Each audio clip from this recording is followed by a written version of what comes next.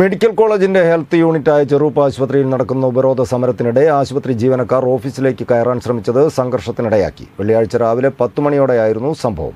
ഏറെ നേരത്തെ വാഗ്വാദങ്ങൾക്കും വാക്കേറ്റത്തിനും ശേഷം ജീവനക്കാർ തിരിച്ചുപോയതോടെയാണ് സംഘർഷ സാധ്യത അവസാനിച്ചത്.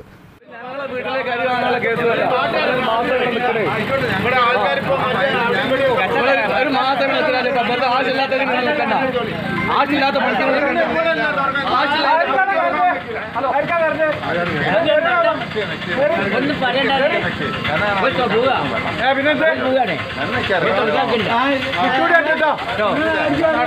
മെഡിക്കൽ കോളേജിന്റെ ഹെൽത്ത് യൂണിറ്റായ ചെറുപ്പ് ആശുപത്രിയിൽ നടക്കുന്ന ഉപരോധ സമരത്തിനിടെയാണ് ആശുപത്രി ജീവനക്കാർ ഓഫീസിലേക്ക് കയറാൻ ശ്രമിച്ചത് സംഘർഷത്തിനിടയാക്കിയത്.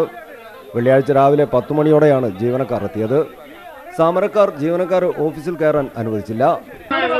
ഞങ്ങൾ ആവശ്യം ഉന്നയിച്ച ആവശ്യങ്ങൾ ഇവിടെ നടന്നില്ലെങ്കിൽ ഇവിടെ തുറക്കാൻ വയ്ക്കില്ല ഞങ്ങൾ ആയിരത്തി നൂറ് കാണും എത്ര ആൾക്കാർ നിങ്ങൾ കൊണ്ടുപോകുന്നു സമ്മതിക്കില്ല എന്നാ സമ്മതിക്കില്ല ഞങ്ങളെ വീട്ടിലേക്ക് അരി വാങ്ങേണ്ട കേസല്ലേ ഇവിടുത്തെ രോ- പാവപ്പെട്ട രോഗികൾക്ക് വേണ്ടി സമരമാണ് ഞങ്ങൾ ആരും വീട്ടിലേക്ക്